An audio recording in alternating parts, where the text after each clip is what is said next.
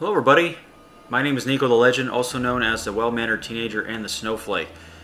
And today we're going to be talking about a very special Xbox showcase coming up on May 7th. And I'm just going to let you guys know. And this is something I just figured out and I had the motivation to post this just in case you're like me and you and you messed up on uh, understanding these fine minute details. Little asterisk.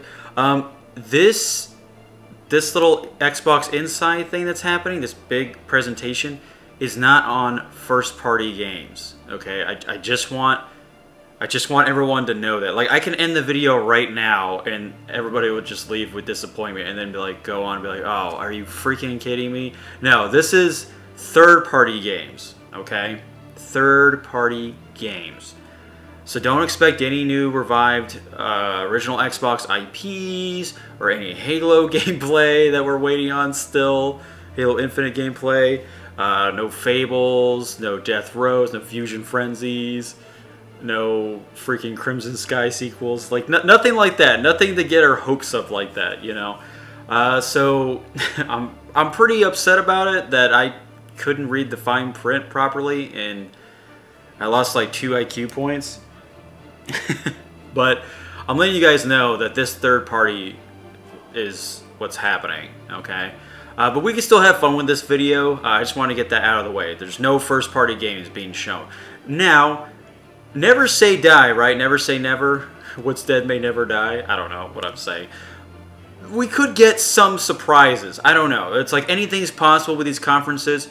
It'd be really cool to see Xbox just add like one or two first party games, like we'll, like we get a sneak peek of like Halo Infinite gameplay, like not even showing like the actual gameplay. Like I know we should have that by now, but just like something to prepare us for like the next event or something. It's like next event, first party games, and that might happen in the month of June or something. You know what I'm saying? Like it kind of like transitions. So it might help us isolate, uh, you know, have having the third party games exclusive on this showcase and then the first party is its own thing. So I can live with that, but holy crap, like if you look at the time, it's already May 1st by the time I release this video. And we still haven't seen any next gen gameplay from the next Xbox, and that's troubling. It almost makes me think that it is going to be delayed. But I don't know. I don't know. Microsoft might be just going out with a bang or something. So, now we can get to the video. Man, that took three minutes just to discuss.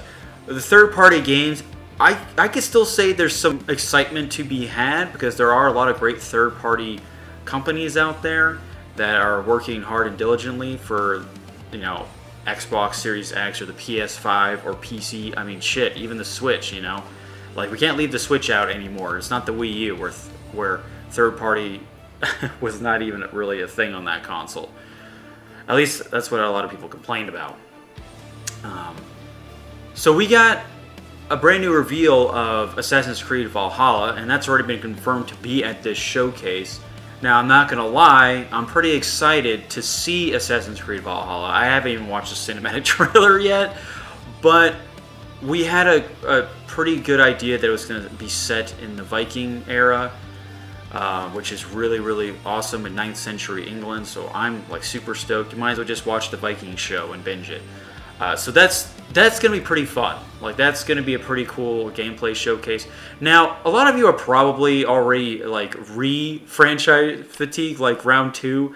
Like I get it because Assassin's Creed Origins and and Odyssey were, were badass games. Admittedly, I've never played Origins, but I hear a lot of good things about it. And then I've played a lot of Odyssey, and I love Greek mythology, and I love that game. It's just fantastic.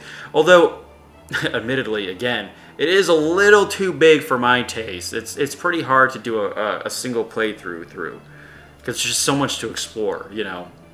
But that's that's to each his own, you know.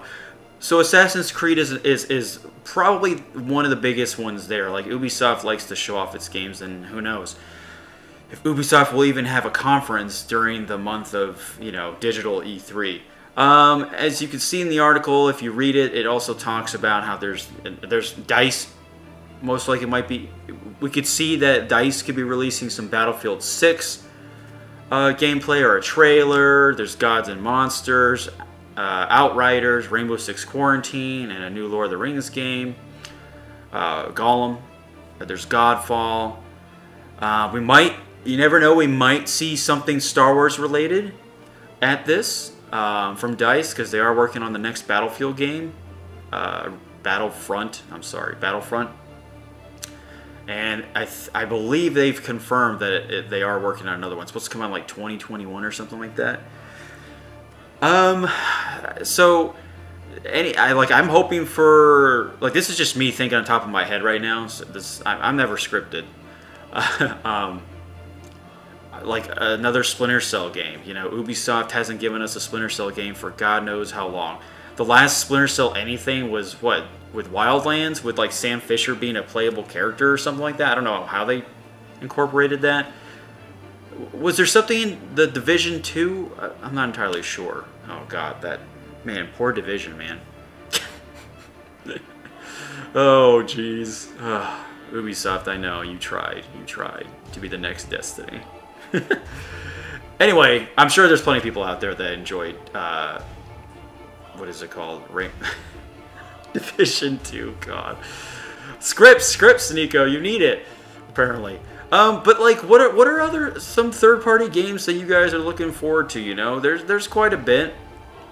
Doesn't necessarily all have to be shooter games, right? You know, but like shooter games is a big deal from third-party games. Like I said, like EA loves to do shooter games. Hey, you never know. We might even see a Titanfall 3. I know Apex Legends is like their like bread and butter right now, but you never know. Like possibilities here. Although we've been pretty disappointed in the last couple of E3s with these third-party developers, but I mean, we'll never know. We'll never know. I don't know. Maybe like Ubisoft does cross uh, cross play Nintendo Xbox partnership. I don't fucking know. but I mean, they'll be showing um, what is it? Not Walking Dogs. Walking Dogs?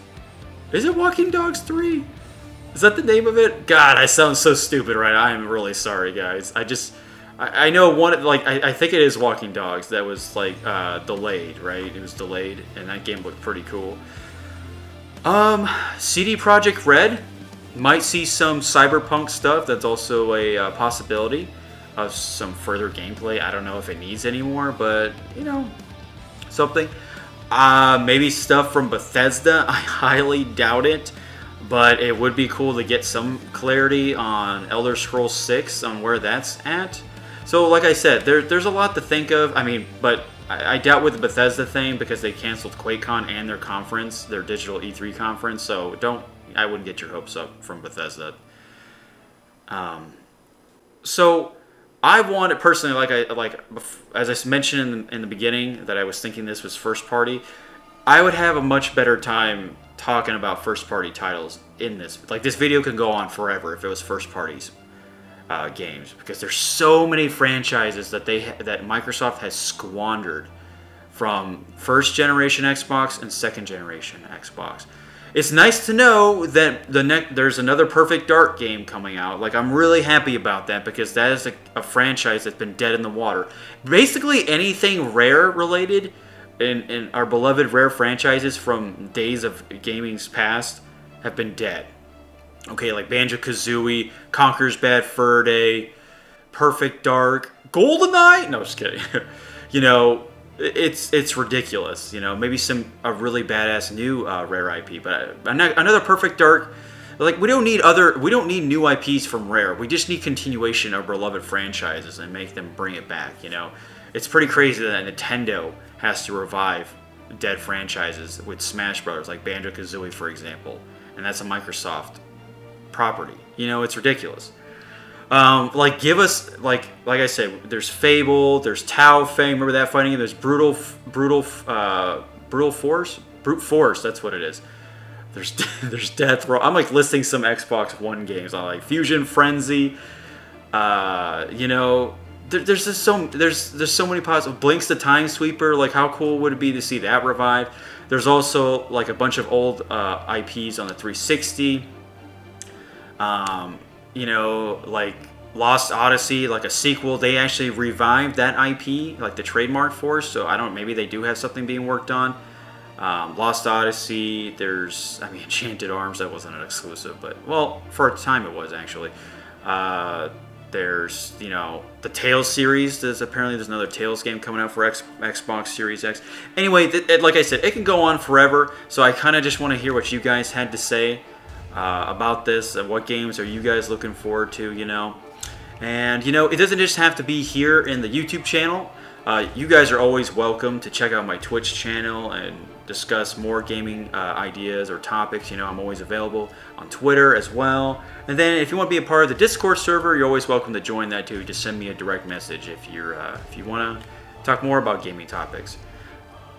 So anyway, folks, I hope Microsoft does a good job with this. Like I, you know what, just showcase these badass, even if the third party, these badass third party games. Give us like the next Deus Ex, which isn't going to happen. I'm just saying you know, show us these IPs that these third-party developers have been working on, like effort, effortlessly, effortlessly. I can't even say that word. Maybe you know some Vampire the Masquerade Bloodlines 2 gameplay. That'd be really sick. I'm really excited for that game. Oh my god! Like that game having a sequel to Bloodlines 1 is uh, like I hate to swear. I already swore, but is an absolute fucking miracle. By the way, in gaming. Okay, if you know the history of Bloodlines, then you know why I'm so ecstatic about it. And I'm not even like a Bloodlines fan, but I know the I know the story. I know the story. Uh, thank you, Indigo Gaming, for letting me be truly informed about the disastrous development of that game. Oh. But thanks to you modders for making it something. Anyway, folks, hope you had a good time. I've been your host, Niko Legend. Take care, Pathfinders.